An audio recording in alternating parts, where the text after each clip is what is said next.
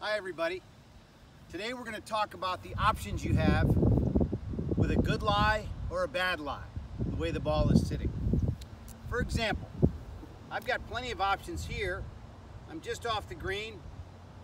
I've got about a 40 foot chip. I can take my standard chip shot. Feet close together, keep my wrist quiet, play the ball off my back foot, and make a nice pendulum motion. Now I've got a buried lie. My options are diminished. I don't have as many options. The only option is to use more loft, and I've got a 58 degree, and I must hit the ball on the way down.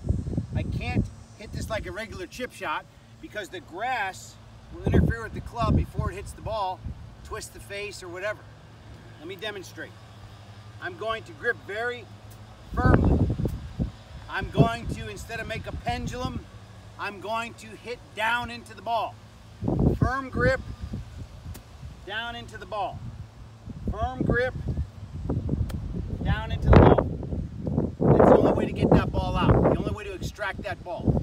So when you have a good lie, you've got many options, perhaps a hybrid, perhaps a seven iron, anything you want. When you've got a bad lie, the options are pretty much limited.